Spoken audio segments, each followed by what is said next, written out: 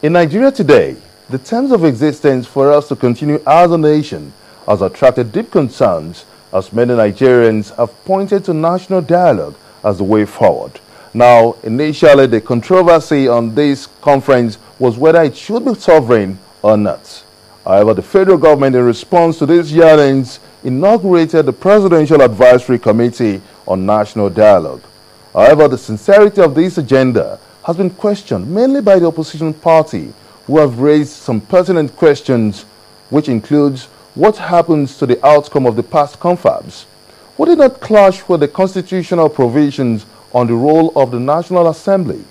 And what will be the basis of representing the people at the National Conference?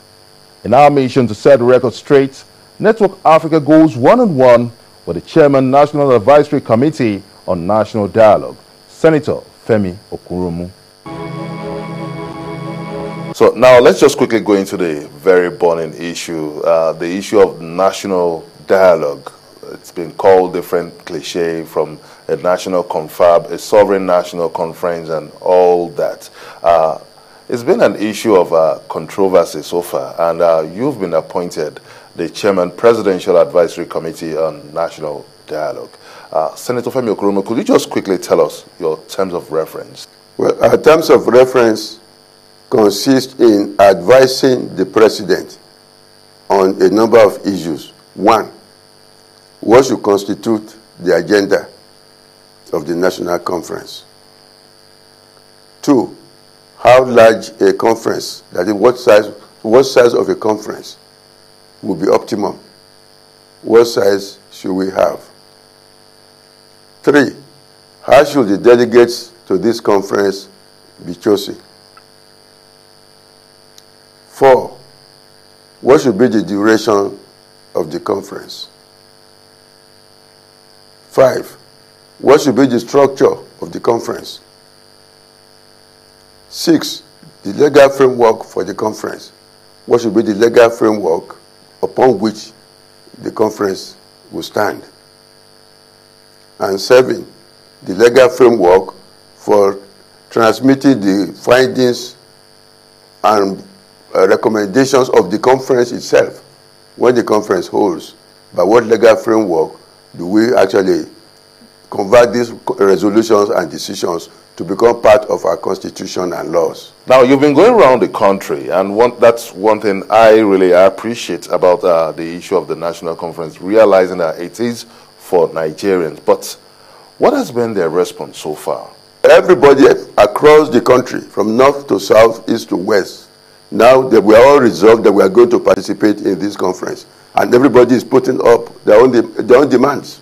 You talked about the generality of Nigerians endorsing this idea of national conference, but the report we got from some states uh, showed a clear contrary to this position. Uh, and one of such people was uh, Governor Adam Oshiomhole, who voiced a stronger position against the idea of the national conference. Could you tell us, uh, could you give us details about this? Well, first of all, the mere fact that we did not get an endorsement from Governor Oshiomhole does not mean that we did not get an endorsement from the people of Edo State.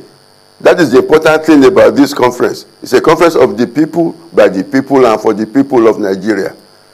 Yes, the governor of Edo State did not think much will come out of this conference. But he was talking of his own party position. The, his party has, has taken that position. So everybody in his party was obliged to take that position. But unfortunately for him, his party position, which he, which he expressed, was in complete conflict with the position of his own people. Own people overwhelmingly endorsed this conference and came with their, with their uh, memoranda. All the ethnic nationalities within Edo State came endorsing the conference and telling us what they would like, how they would, the, what they would like as to modalities, as to what they think should be on the agenda, and so on. So if I, if I, it was this that prompted the governor to want to address them. Because the governor did not expect to see the kind of response that he saw.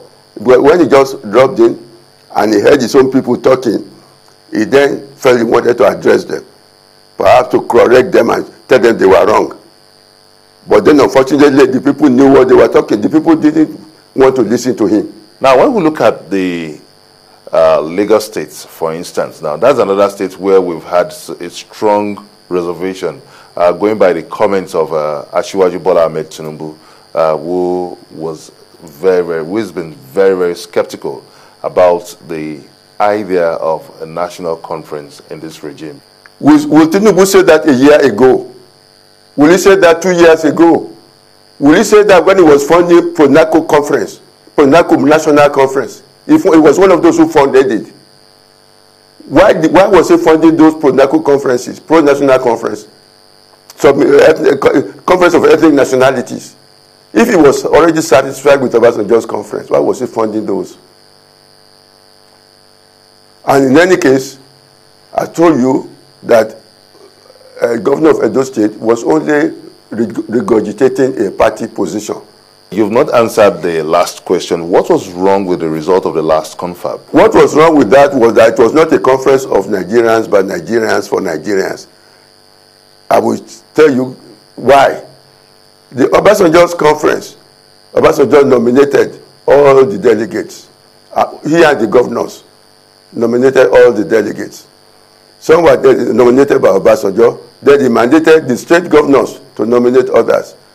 Then he picked a, few, a few from the socio-cultural organizations like Afenifere, Ohanese. Only one, only one delegate was allowed Afenifere, and that was that delegate. One delegate was allowed Ohanese. Apart from that, all the delegates were appointed by government. And there were no go areas. It was not everything we could talk about.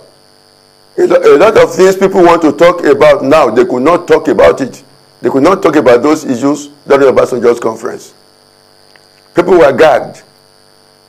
So it was not a conference of the people. Now let's just weigh uh, why the opposition party are clamoring against uh, this national conference, in spite of the fact that they have been, most of them have been ardent supporter of this idea in the past.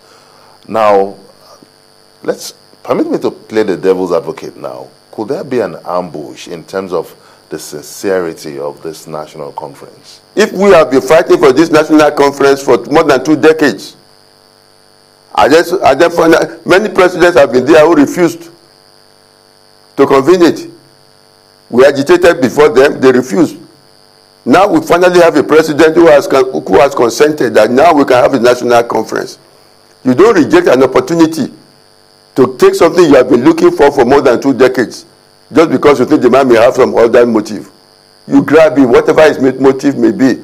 As long as what he's offering you is your own interest you grab it. Now are we not merely begging the question now? Because when we look at the constitution the provisions of the constitution it stipulates that the national assembly is the voice of the people now when we look at also the issue of the national conference it may end up playing a dual role to the function of the National Assembly? If you, uh, if you want me to go into detail, for part of the grievances of people is that the present constitution we have is unfair to some sections of the country. That even, that even, the, even, the, even the, the parameters for creating constituencies, for creating local government, for, for electing people into the National Assembly This case was skewed deliberately by some past rulers to favor sections of the country and put some other sections at a disadvantage.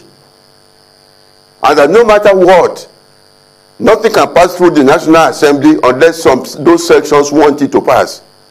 So if you feel a constitution has been rigged against you, how can you then expect that constitution to, to, to, to correct those problems? So the sovereignty that the National Assembly enjoys is a delegated sovereignty. And he, he who delegates can withdraw that delegation. If the people delegate authority to the National Assembly and they feel are not, and they feel the National Assembly is not able to take care of their interests, they can withdraw that sovereignty and take it to themselves. It belongs to them. Senator Femi Okurounmu, it's been a wonderful moment having you on this edition of Network Africa, in spite of your very busy schedule, going around the country to convince Nigerians on the importance of the issue of the national dialogue. Thank you very much indeed.